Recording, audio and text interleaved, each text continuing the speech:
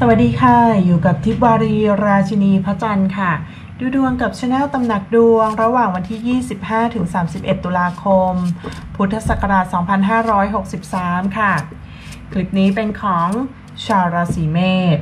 ชาวราศีเมษคือผู้ที่มีลัคนาสถิตอยู่ที่ราศีเมษหรือผู้ที่เกิดระหว่าง 13 เมษายนถึง 13 พฤษภาคมค่ะ เราจะเริ่มดูดวงในเรื่องของการเงินและการงานของชาวราศีเมษกันก่อนนะคะ ใบแรกเลยจับมาวันนี้ได้หกไม้เท้าค่ะ ด้านข้างก็จะเป็นเจ็ดดาบนะคะ แล้วก็ตามมาด้วยสิบดาบนะคะ ดาบขึ้น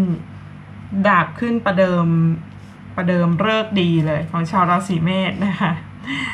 แล้วก็มีหกถ้วยนะคะสองดาบโอ้ดาบเยอะนะสัปดาห์นี้นะคะ ตามจบลงด้วยหนึ่งไม้เท้านะคะ เรื่องการเงินการงานของชาวเมษนะคะ สัปดาห์นี้เนี่ยนะคะอุ้นไม่พูดถึงเรื่องดวงดาวแล้วเนาะเพราะว่าเดี๋ยวเดี๋ยวเราไปดูดวงคลุมๆในเรื่องเรื่องของดวงดาวเนี่ยเพื่อที่จะเป็นไกด์ไลน์นะในสัปดาห์หน้ากันนะคะ เพราะว่าตอนนี้เนี่ยสิ้นเดือนละนะคะสิ้นเดือน 25-31 ตุลาคมนะคะ เวลาที่ได้ไพ่หกไม้เท้าเนี่ยหกไม้เท้ามันจะเป็นเรื่องของความเชื่องช้า การงานอะไรในรอบสัปดาห์นี้ ชาวราศีเมษอาจจะรู้สึกอืดอืดหนืดหนืดช้าช้านะคะ นั่นเป็นเพราะว่าหลาย ๆ อย่างมันเพิ่งเริ่มต้นนะคะ หลายอย่างจบลงไปหลายอย่างต้องเริ่มต้นนะคะ สิ่งที่จบไปแล้วผ่านไปแล้วนะคะ มันก็มาจนถึงมาจนถึงตอนเนี้ยวันเนี้ยนะคะ คุณอาจจะปิดจ็อบเก่าๆได้นะคะ หรือบางคนอาจจะออกจากงานมาแล้ว ลาออกมาแล้วนะคะแล้วก็มาเริ่มต้นงานใหม่นะคะอย่างไรก็ตามนะหกไม้เท้าขึ้นมาเป็นไพ่ใบแรกเนี่ยไม่ตกงานหรอก ใครที่กำลังหางานอยู่ทั้งหกไม้เท้าเองและเด็กถือไม้เท้าบอกว่าถ้าหางานอยู่ก็จะได้ทำงาน เรียกสัมภาษณ์นะคะเขาก็จะชอบในตัวตนของคุณได้รับการยอมรับค่ะหกไม้เท้านี่ได้รับการยอมรับหมายถึงมีอัศวินขี่ม้าใช่ไหมแล้วก็มีผู้คนน่ะ ลายล้อมรอบๆตัวแล้วก็ขับเคลื่อนกันไปนะคะ ก็ดูแล้วนะถ้าเกิดว่าใครที่หวังตำแหน่งใหญ่โตมาก สัปดาห์นี้ไพ่มันไม่ได้ขึ้นในเรื่องของตำแหน่งเกียรติยศหน้าตาอะไร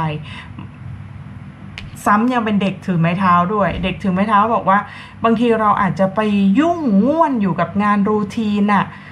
งานที่มันจะต้องแบบ ทำไปปริมาณเยอะๆ แล้วก็ใช้เวลานานนะคะ ก็จากเล็กๆอะ่ะเติบโตไปก่อนนะคะ มีเรื่องใหม่มีงานใหม่ท้าทายนะคะท้าทายมาให้หยิบจับทำทำได้ดีด้วยนะคะกำลังปักหลักกำลังเริ่มต้นนะคะ ขอให้รอบสัปดาห์นี้มันเป็นจุดของการเริ่มต้นใหม่ดี ๆ นะคะ มีเรื่องของ การยังไม่ไม่รู้ทิศทางอะที่ชัดเจนแน่นอนนะคะในรอบสัปดาห์นี้นะต่อให้ไม่ไม่ยังไม่เห็นทิศทางอะไรที่มันชัดเจนกระจ่างใสนักในเรื่องของการเงิน แต่การงานมันดีอ่าการงานมันตั้งหลักได้มันกำลังเริ่มต้นใหม่ ๆ ได้สวยนะคะแล้วก็เป็นที่ยอมรับของกลุ่มคณะ วันนี้พอหกไม้เท้าขึ้น เรื่องที่คุณจะต้องระมัดระวังก็คือ อย่าอย่าโชว์คนเดียว อย่าวันแมนโชว์ให้ความสำคัญของทีมงานหรือกลุ่มบุคคลที่คุณลงไปสัมผัสพูดคุยนะคะะหรือเพื่อนๆ รอบๆ ตัวนะคะ วันนี้ทีมเวิร์กสำคัญมาก การรวมกันเป็นทีมเป็นกลุ่มเป็นก้อนสำคัญมากนะคะ ดังนั้นเวลาที่จะทำให้ทีมเวิร์กมันขับเคลื่อนไปเนี่ยบางคนอาจจะไม่เห็นด้วยกับนโยบายบางอย่าง บางคนอาจจะไม่เห็นด้วยกับกฎเกณฑ์บางข้อนะคะ ขอให้ย้อนกลับมาเหมือนกับคุณจะต้องเป็นตัวกลางอะเพื่อที่จะพูดคุย เพื่อที่จะตกลงสันติวิธีให้ได้นะคะ ดังนั้นเนี่ยก็จะต้องถอยมานะ จะต้องถอยมาแล้วก็เอาประโยชน์สุขขององค์กรเป็นที่ตั้งนะคะแน่นอนแหละอาจจะมีคนที่เสียผลประโยชน์ไม่ได้ดังใจนะคะ ต้องต้องคุยให้เคลียร์ให้ตรงนะว่าบางทีอาจจะมีคนที่ไม่ได้รับผลประโยชน์นั้น แต่ประโยชน์จะเกิดขึ้นกับกับส่วนรวมกับองค์กร แล้ว แล้วคนที่เสียผลประโยชน์สุดท้ายแล้วก็จะเดินหน้าต่อไปได้ ทีนี้ถ้าเกิดว่าเรามาเอาผลประโยชน์เข้าข้างนั่นทีเข้าพวกนี้ทีกลายเป็นว่าถ้าองค์กรเดินไม่ได้ถ้าส่วนรวมเดินไม่ได้มันขับเคลื่อนไปไม่ได้นะ ซึ่งสัปดาห์นี้คุณจะต้องโฟกัสเรื่องนี้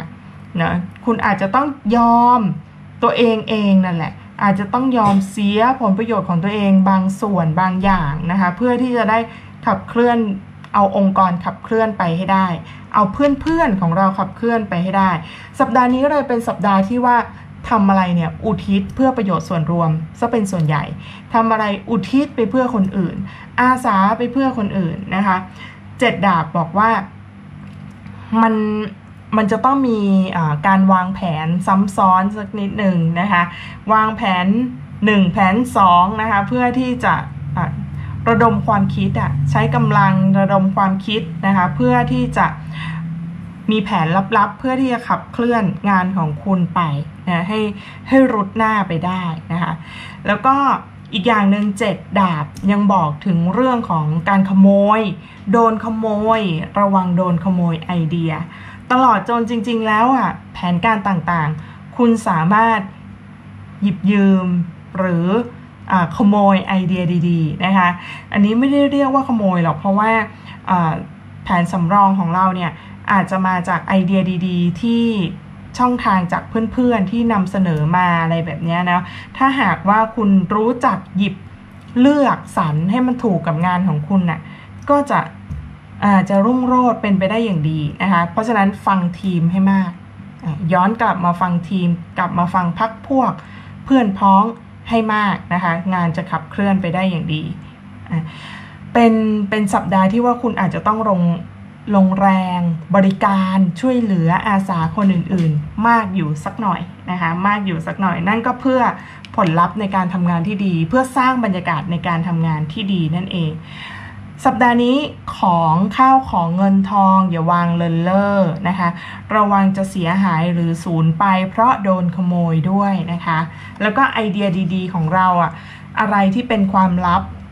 อะไรที่เป็นความลับของบริษัทอย่าเปิดเผย อะไรที่เป็นความลับของตัวเราเองที่ควรจะเก็บไว้อย่าเปิดเผยนะคะ ให้ไว้เป็นแผนสำรองของเราไปก็จะมีเรื่องเรื่องลึกลับเรื่องลับๆแบบเนี้ย มันไม่ใช่ลึกลับหรอกมันต้องแบบลับๆการวางแผนอย่างใช้สมองเนาะใช้ปฏิพานไหวพริบหรืออาจจะขโมยต้องขโมยแบบ ถ้าอ้นพูดว่าขโมยไอเดียเดี๋ยวจะกลายเป็นว่าเป็นเรื่องไม่ชอบทำนะคะออลองประยุกต์ลองปรับประยุกต์ใช้นะคะไอเดียดีๆ จากโซเชียลจากหนังสืออะไรแบบนี้ค่ะ แล้วหรือจากคนรอบๆตัวนะคะ เอามาปรับประยุกต์ใช้กับการงานให้เยอะ เพราะว่าสมองกำลังโลดแล่นปลอดโปร่งนะแล้วจะทำการทำงานได้อย่างดีด้วยการวางแผนนั่นเอง Temperance ค่ะขึ้นในเรื่องของความรักนะคะ ตามมาด้วย 9 ถ้วยนะคะ 6 ไม้เท้ายังอยู่นะคะ แล้วก็มี Wheel of Fortune ค่ะ เด็กถือถ้วยค่ะ แล้วก็เราก็บทสรุปนะคะ จบลงด้วย The World นะคะ ถ้าถ้าเรื่องราวแบบนี้เป็นในเรื่องของความรักเนี่ย มันจะมีไพ่ไพ่เทวดาเนาะที่เป็นรูปเทวดาเนี่ย